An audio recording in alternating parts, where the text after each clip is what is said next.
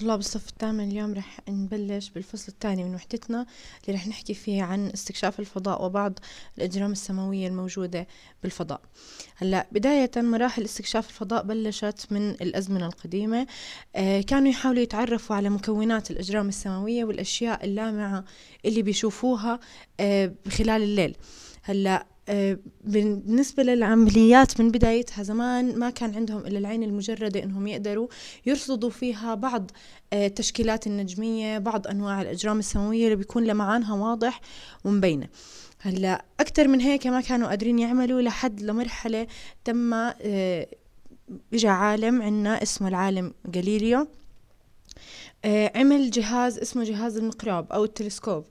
هلا آه، كان مبدأ عمل المقراب إنه يقوم على تجميع أكبر قدر ممكن من الضوء الساقط من الأجرام السماوية باتجاه الأرض وتكبيرها لتبدو أكثر وضوحا. حالة المقراب هي كانت خلينا نحكي أول مرحلة من مراحل استكشاف الفضاء بعد العين المجردة. هاي المرحلة عملت ثورة كتير كبيرة لأنه من خلال المقراب قدروا إنهم يكتشفوا معالم سطح القمر وقدروا كمان إنهم يرصدوا عدد الأقمار اللي بتدور حوالين الكواكب وآلية دورانها. بعد هيك بلشت الأفكار تتطور وبلشت الجهود البشرية تكتر فبلشوا يقوموا بما يسمى برحلات فضائية. عشان يقدروا يقوموا برحلات فضائية لازم يكون في عنا إحنا صواريخ ولازم يكون في عنا مركبات فضائية. ففي عنا هلأ رح نحكي عن آه ثلاث أو أربع أنواع من المركبات الفضائية اللي بيستعملوها في عمليات الاستكشاف الفضائي. رقم واحد عندنا ما يسمى بالمركبات غير المأهولة. المركبات غير المأهولة هي عبارة عن مركبات فضائية ما بتحمل رواد فضاء هي فقط تحمل معدات وأجهزة وأدوات. وظيفتها إنها بس تنقل هاي المعدات والأجهزة للفضاء وبعدين هم بيستخدموها في عمليات الاستكشاف الفضائي. المركبات غير المأهولة في عنا نوعين كتير مهمين. أول نوع اللي هو القمر الصناعي والأغلب بيعرفه أو سامع عنه. القمر الصناعي هو عبارة عن مركبة فضائية غير مأهولة أي بمعنى ما فيها رواد فضاء. هاي المركبة بتتوجه عن طريق إحداثيات معينة عشان تدور في أماكن محددة حول الكواكب. هذا النوع ما بيسقط على سطح الكواكب ما بينحط على سطح كوكب لا يستخدم آه، بالاستخدامات اللي رح نحكي عنها كمان شوي. هلأ القمر الصناعي له مدارات محددة. بنحط حوالين الكواكب.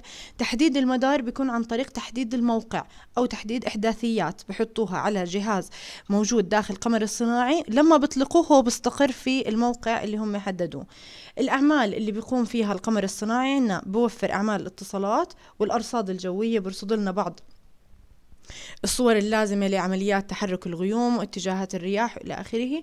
وآخر إشي عندنا الأغراض العلمية الاستكشافية بأنه بيلتقط صور متعددة ومتفرقة بأوقات زمنية هم بيحددوها لأسطح الأجرام السماوية اللي موجودة داخل المدى اللي بيقدر هو يلتقطها. رقم اثنين من الركبات غير المأهولة عندنا إيش اسمه؟ مجسات أو ما يسمى بالمسابير الفضائية. هذا النوع بينطلق من سطح الأرض في رحلة باتجاه واحد يعني هو بس بيروح للفضاء ما بيردوا بيرجعوه مرة تانية المسابير الفضائية أو المجسات إلها آه، أربع أنواع. النوع الأول عندنا مجسات مدارية وفي هذا النوع بيطلقوا المجس عشان يدور في مدار محدد حول الأجرام السماوية. وظيفته أنه بيلتقط صور لسطح هذا الكوكب اللي هم بدهم يدرسوه وبسجل وبخزن هاي الصور حتى يتم دراستها. النوع الثاني مجسات الهبوط. مجسات الهبوط هي عبارة عن مجسات ثابتة وظيفتها أنها تهبط على سطح جرم سماوي معين وما بتتحرك من محلها. طبعا من خلالها بتم دراسة بعض أنواع الصخور المكونة لهذا الكوكب آه، طبيعة سطحه إذا في تضاريس أو لا إلى آخره. رقم ثلاثة عندنا مجسات الهبوط المتحركة. هذا النوع بيشبه مجسات الهبوط بس هذا ثابت بضل في محله هذا بتحرك وبقوم بعمليات ورحلات استكشافية. طبعا يتم التحر بتحرك أو بيتم التحكم فيه عن طريق آه، ريموتات وبمحطات أرضية. رقم أربعة عندنا ما يسمى بالمجسات الغاطسة وهذا النوع تحديدا يتم إرساله ليغوص داخل الكواكب المكونة من الغازات. إحنا عندنا الكواكب نوعين إما إلها سطح صخري أو إلها سطح غازي. اللي إلها سطح غازي ما إلها آه، محل إنه يوقف عليه المجس عشان يتم دراسة سطحه فبيستخدموا نوع اسمه مجسات غاطسة. هاي بتغوص داخل الكواكب الغازية وبتخترق الغلاف الغازي تبعها عشان يتم دراستها.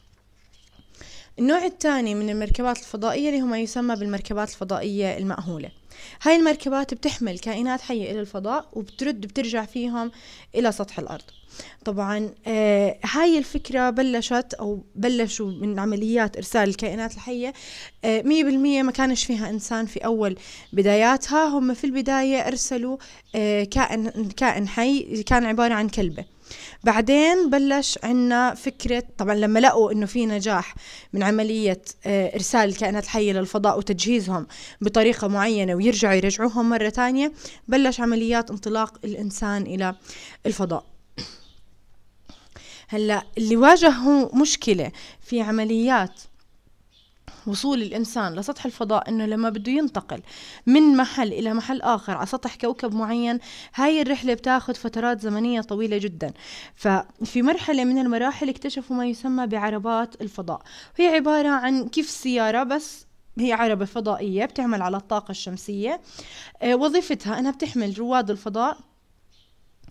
وبتنقلهم من محل إلى محل آخر على سطح الكوكب اللي هم هبطوا عليه ليتم دراسته من جميع النواحي.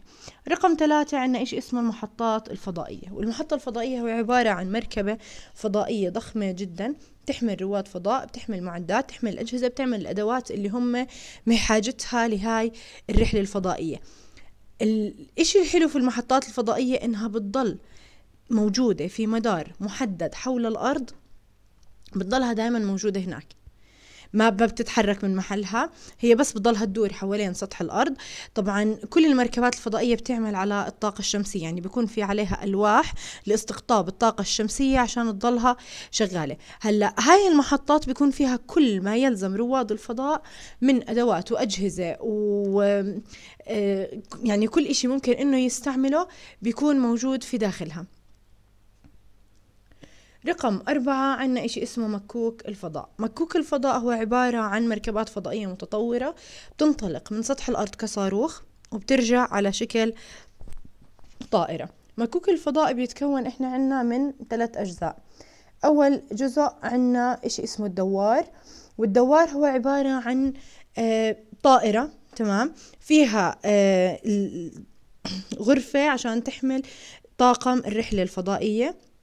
طبعا لازم يكون معزول آه، حراريا عشان يقدر يحمي جسم المكوك ويحمي رواد الفضاء اللي موجودين في داخله. الجزء الثاني عندنا الصاروخ. في هاي الحالة إحنا عندنا صاروخين بيقوموا على دفع المكوك من منصة الانطلاق باتجاه يعاكس للجاذبية الأرضية وبضل شغال وبضل فيه قوة الدفع وبتضل محركاته شغالة لحد ما يطلع خارج الغلاف الجوي الأرضي وبنفصل عن الدوار. هلأ صواريخ الدفع هدول هم عبارة عن خزانات الوقود. الوقود اللي بيشتغل عليه مكوك الفضاء بيشتغل على خليط من الهيدروجين والأكسجين السائل. ببلش يحترق جزء ورا الآخر وكل جزء بيحترق بيسقط بيرجع على سطح الأرض. في خلال عمليات استكشاف الفضاء كان في عنا بعض المشكلات اللي بتواجه رواد الفضاء. رقم واحد حالة انعدام الوزن. بالفضاء ما في جاذبية. يعني لما بيسقطوا على سطح كواكب أخرى جاذبية الكواكب الأخرى رح تكون مختلفة جدا عن جاذبية الأرض للإنسان. فاللي بصير إنه بصير في حالة ضغط على العظام بتأدي إلى استنزاف ونقص كتير حاد في الكالسيوم فبصير في عنده ممكن هشاشات عظام سقوط في الأسنان تسوس في الأسنان. هاي الحالة بتنشأ من حالة تسمى بانعدام الوزن. الحالة الثانية عندنا حالة عدم التكيف. حالة عدم التكيف هاي بتصير. إحنا متعودين وإحنا عايشين على سطح الأرض بأي مجهود. إحنا بدنا نبذله بدنا نستخدم عضلاتنا. لما انت بتستخدم العضلات الموجودة عندنا بصير في عندنا نشاط في الدورة الدموية. بالفضاء ما في عنا قوة جذب معادلة لقوة الجاذبية الأرضية عشان إنها تيجي إيه إنه إحنا نحاول نقاومها عشان نمشي على سطح الكواكب الأخرى أو عشان نتحرك. نسبح بالفضاء. ما هم ما بيتحركوا بالفضاء هم بيسبحوا سباحة بالفضاء. فبصير في عندهم حالة اسمها حالة عدم التكيف لأنه عضلاتهم رح يصيبها خمول لأنه لا يتم استهلاكها وما ما بنستخدمها بشكل كثير منيح زي ما كنا نستخدمها على سطح الأرض وبصير في عنده خمول في الدورة الدموية. رقم ثلاثة اللي هم الإشعاعات الخطرة اللي بتطلع من الفضاء. هلأ هاي الإشعاعات بتكون آه، غير مرئية يعني لا يمكن مشاهدتها في العين المجردة. مصدرها بيكون الشمس. هلأ هاي الإشعاعات بتعرض لها رائد الفضاء لما بيطلع من مركبته عشان يقوم ببعض الدراسات وخلال العودة إلى المركبة ممكن أنه يتعرض لبعض الإشعاعات الصادرة من الشمس. آخر إشي في عنا ما يسمى بالجسيمات المادية اللي هم بعض أنواع القطع الصخرية المتناثرة في الفضاء وممكن بعض مخلفات الرحلة الفضائية بما إنه إحنا ما عندنا جاذبية. فأي مخلفات من هاي الرحلة تسقط بالفضاء ممكن إنها تتحرك بطريقة معينة مع بعض أنواع من الصخور وطبعا سرعتها بتكون كثير عالية ممكن أنها تصطدم في المركبات الفضائية في بعض الأحيان تؤدي إلى تدمير المركبات الفضائية.